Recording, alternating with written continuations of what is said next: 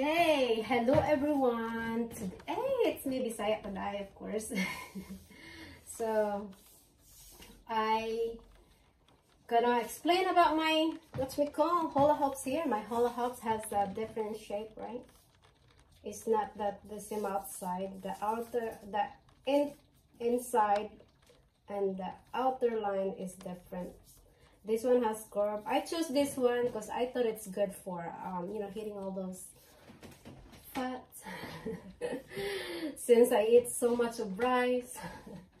so anyway, here's my hula hoops. It's huge, colorful, so much fun to look at it. Right? So um, I'm going to challenge gathering place. Gathering place. Here comes my hula hoops. So we'll see if I could do it for what 10 minutes or or more. So let's start our hula hoops guys. I hope you enjoy watching my hula hoops. I'm just gonna do this. This is a exercise too, you know. so hula hoops is real. This actually my hula hoops is five pounds. It's heavy, as you can see. They're really big, big, big fat. so we're gonna start our hula hoops, guys. I hope I could do it right. So gathering place, this is for you. I challenge you to do a hula hoops. Like I said, my my socks, my socks is colorful one as well. So let's do this. Oh, I forgot my music, guys. It should be have a music, you know? Music maestra. Hold on one second, guys. I'm gonna put a music on so it really nice to rhyme with music. Okay, let's do it. Tran, tran, tran. Okay. There we go.